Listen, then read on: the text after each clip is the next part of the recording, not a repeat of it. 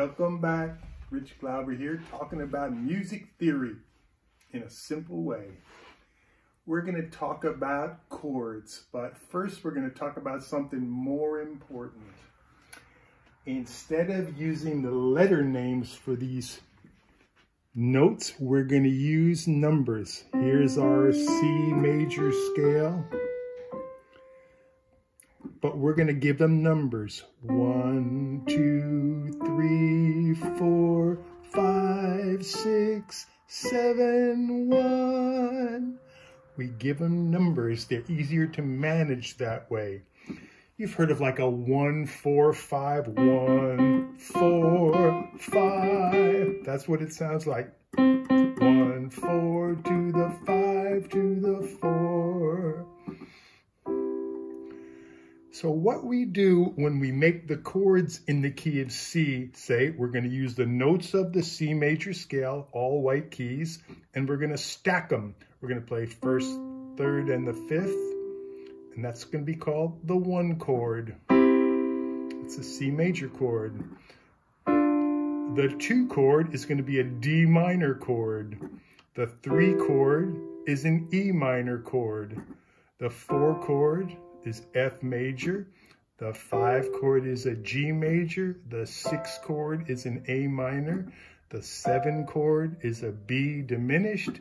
Back to the one chord. They all have their characteristics.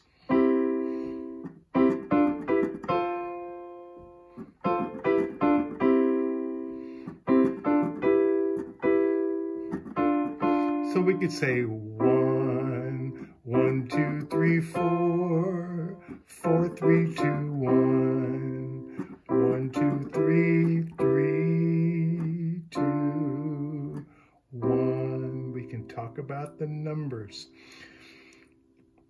If we want to talk about the most important chords are the one chord and the five chord and the one chord, one, and the five, and the one. So many songs go to the five chord and to the one chord. Watch my left hand. One to the five to the one. Five one, five one, five one, five one. We're so used to that Day-o, me said day-o. Come and me wanna go home. The wheels on the bus go round and round. Five chord to the one chord, the one chord, the one chord. The five goes back to the one. The five goes back to the one. The chord built on five goes back to the one.